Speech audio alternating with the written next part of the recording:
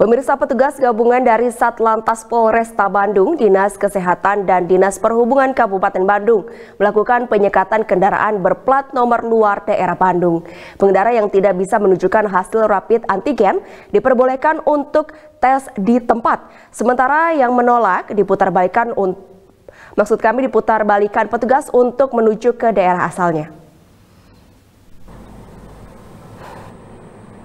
Dalam rangka pemberlakuan pembatasan kegiatan masyarakat atau PPKM, satu persatu kendaraan berplat nomor luar daerah Bandung yang keluar dari gerbang tol Soreang, Kabupaten Bandung, diberhentikan petugas gabungan dari Satuan Lalu Lintas Polres Kota Bandung, Dinas Kesehatan, dan Dinas Perhubungan Kabupaten Bandung.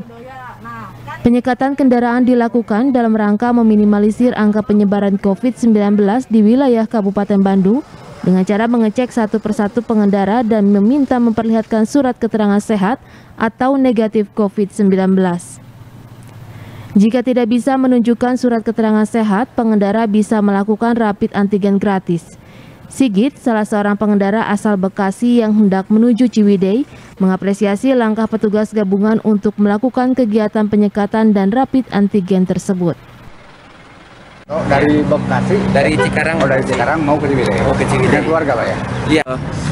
Yang pertama tadi awalnya kaget ya sebetulnya karena kita baru baru ini uh, pertama kalinya ke Bandung kemudian dicegat untuk rapid test. Uh, tapi ya saya pikir ini sesuatu yang bagus ya karena memang uh, apa namanya ya untuk menjaga juga karena saya dari luar kota kebetulan saya sudah lama juga nggak rapid antigen jadi uh, selain untuk menjaga keamanan yang di sini juga bagus untuk saya untuk tahu bahwa saya positif atau tidak.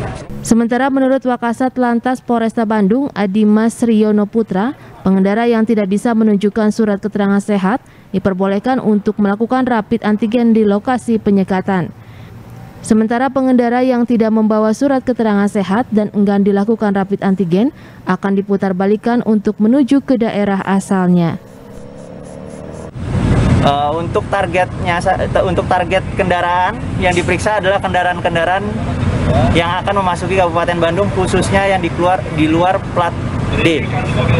Yang di mana setiap pengendara maupun penumpangnya yang akan masuk pada Kabupaten Bandung ini kita minta untuk menunjukkan surat bebas uh, dari penyakit COVID-19.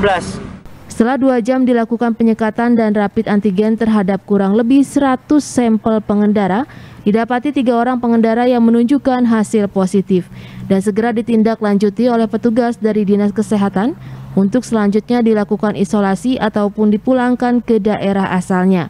Petugas menghimbau bagi masyarakat yang hendak datang ke wilayah Kabupaten Bandung untuk menyiapkan surat keterangan sehat bebas COVID-19 agar bisa menekan angka penyebaran COVID-19 di wilayah Kabupaten Bandung. Yuwana Kurniawan, Bandung TV.